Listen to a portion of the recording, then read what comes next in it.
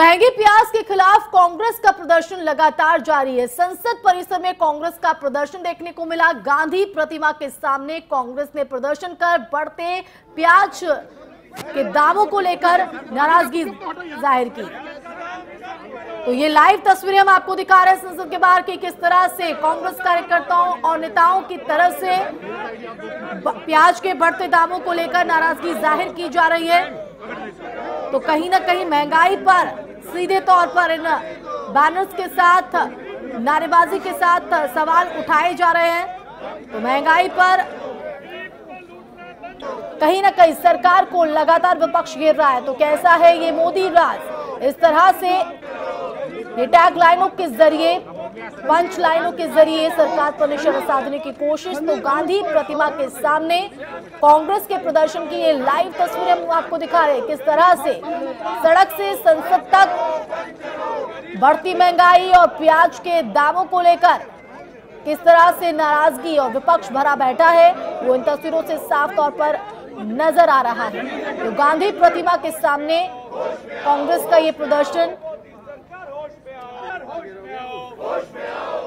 तो होश में आओ, सरकार होश में आओ, इस तरह के जो नारे हैं, वो लगाए जा रहे तो देश में प्याज की कीमतों को लेकर आम आदमी एक तरफ़ बेहाल है तो वहीं राजनीतिक दल मोदी सरकार पर इसको लेकर सवाल उठा रहे हैं। और इसी का नज़ारा संसद परिसर में देखने को मिल रहा है, किस तरह से कांग्रेसी कार्यकर्ता और नेता और पी चिदम्बरम भी यहाँ पर तो जिस तरह से आर्थिक स्थिति बनी हुई है देश में उस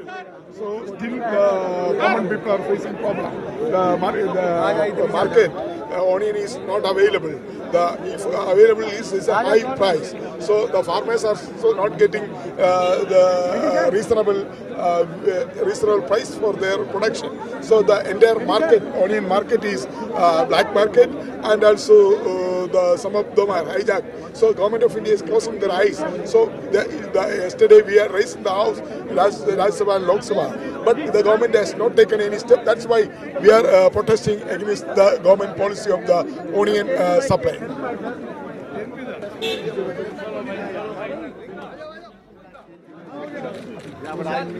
Twelve thirty at the AICC. Sir, just one word on being back in the parliament, sir.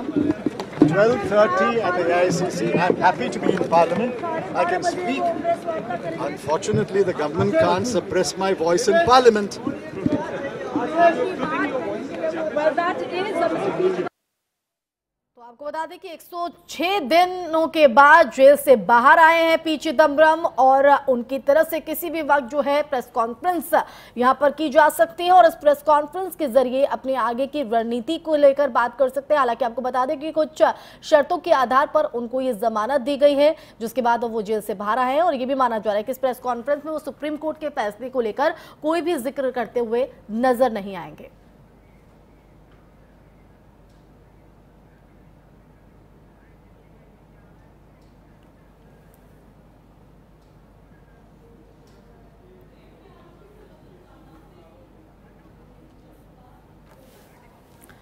तो संसद परिसर में कांग्रेस का प्रदर्शन जो है वो लगातार जारी है। बढ़ते प्याज के दामों को लेकर सरकार को घेरने की कोशिश में विपक्ष के कार्यकर्ता और नेता, ये संसद परिसर की तस्वीरें हम आपको दिखा रहे हैं किस तरह से लगातार जो है वो सवाल महँगाई को लेकर मोदी सरकार पर खड़े किए जा रहे हैं।